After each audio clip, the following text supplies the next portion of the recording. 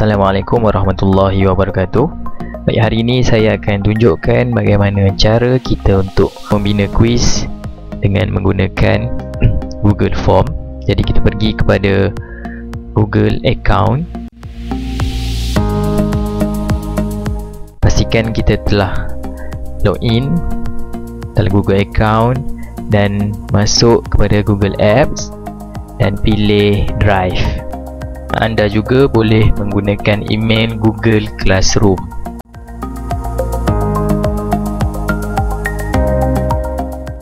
Seterusnya pergi kepada button New. More. Dan pilih Google Form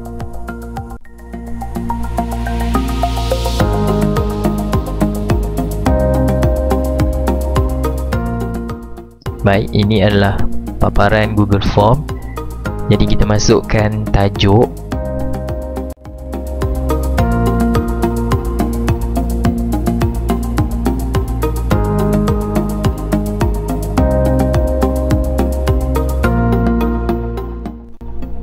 Klik pada tajuk di atas, dia akan uh, terus copy. Dan untuk uh, description cikgu boleh tulis apa-apa saja seperti arahan ataupun uh, disediakan oleh siapa?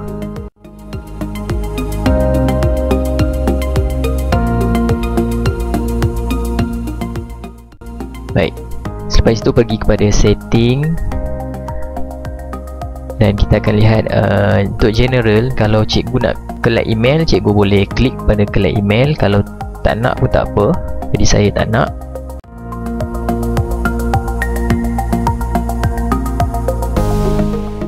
bagi yang menggunakan email Google Classroom daripada KPM perlu kosongkan uh, petak ini supaya memudahkan murid menjawab Google Form tanpa perlu sign in. Dan pergi kepada quizzes. Klik make this a quiz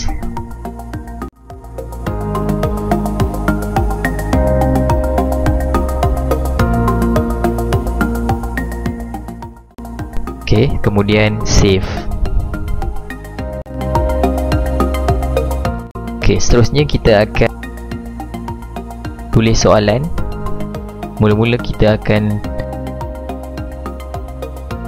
pilih jenis soalan iaitu uh, short answer kerana kita nak maklumat murid jadi kita tulis nama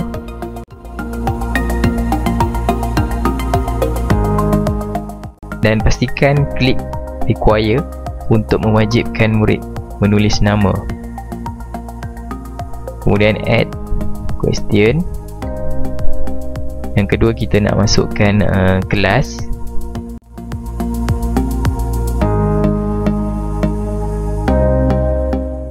Sama juga short answer.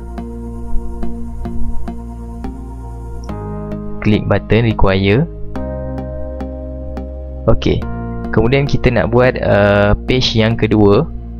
Klik add section.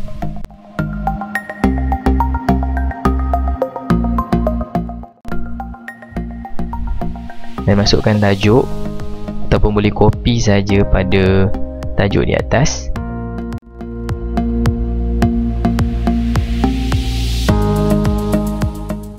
Description boleh tulis uh, arahan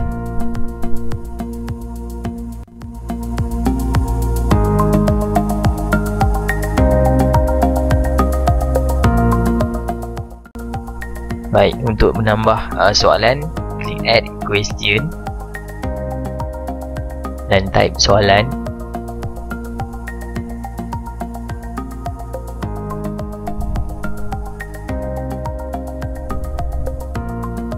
Sebelum itu kita pilih uh, jenis soalan itu multiple choice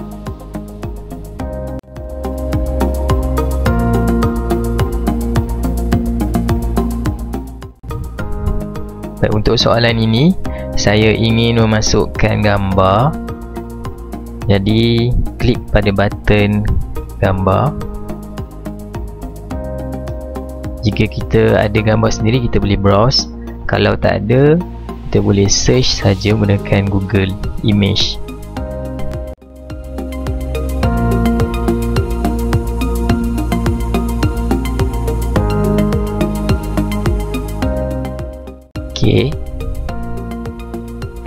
uh, gambar yang kita nak dan klik insert.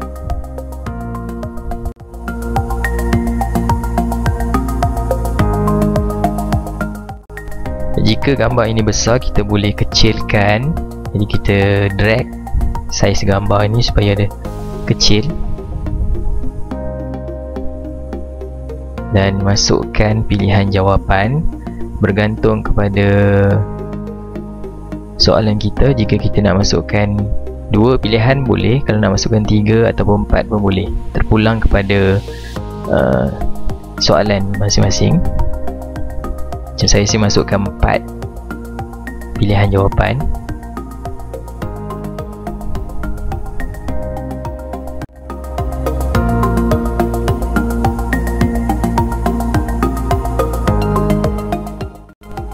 kemudian pastikan klik require untuk mewajibkan murid menjawab dan seterusnya answer key untuk kita masukkan point. Berapa markah untuk soalan ini? Jadi klik satu point dan pilih jawapan yang betul. Kemudian done.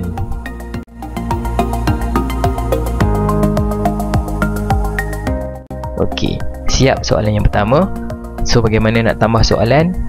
Add question. Dan type soalan yang kedua.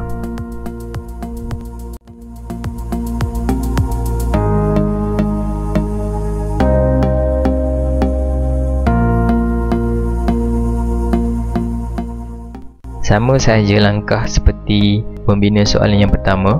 Jika kita ingin masukkan gambar, kita boleh masukkan gambar. Kalau tak nak, terus saja kepada pilihan jawapan.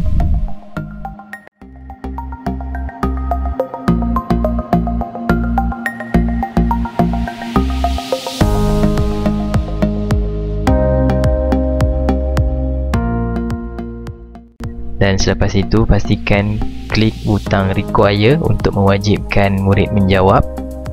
Answer key. Dan masukkan point pilih jawapan yang betul kemudian done ok setelah siap kita boleh pergi kepada preview untuk melihat keseluruhan form kita. Jadi kita boleh cuba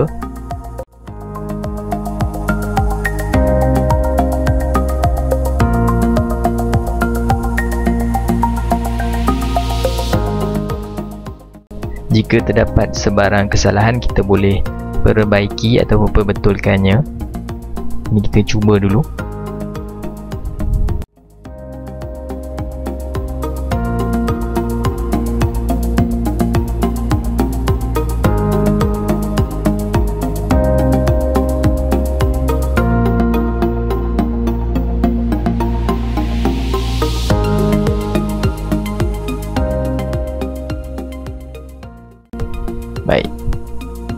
Jadi murid akan melihat skor mereka di bahagian atas ini.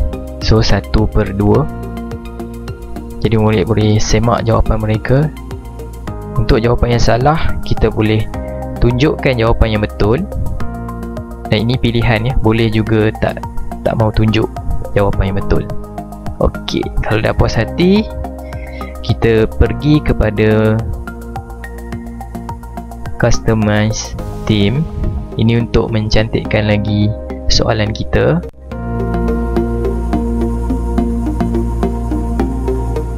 Kita boleh pilih gambar untuk header.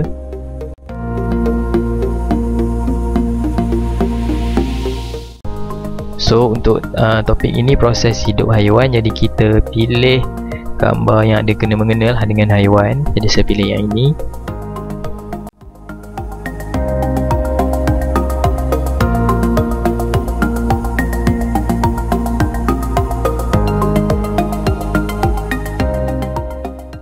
okey dan kita juga boleh uh, tukar color theme color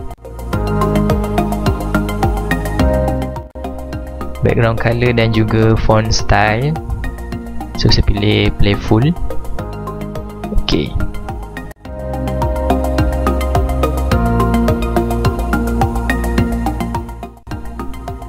baik.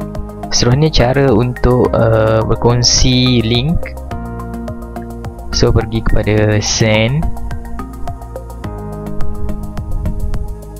kemudian uh, klik button ini. Ok ni link uh, google form kita tapi terlalu panjang. Jadi kita klik shorten url jadi kita boleh copy URL uh, untuk Google Form kita dan berkongsi pada platform lain iaitu WhatsApp, uh, Facebook ataupun Telegram. Jadi itu sahaja daripada saya. Saya harap uh, perkongsian saya ini mendapat manfaat kepada semua. Sekian terima kasih.